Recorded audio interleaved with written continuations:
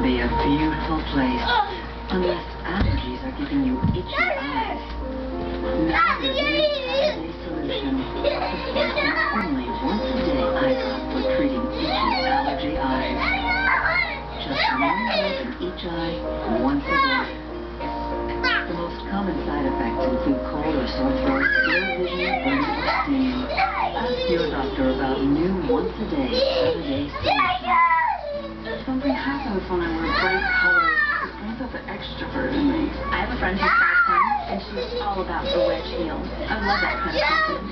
Fashion's not indulgent. It's more about yourself to the world. I like this. It makes me feel free. I love to show my legs. It's completely different. When I find something I love, I Yeah. There's no such thing as change. It's mathematically impossible. Yeah.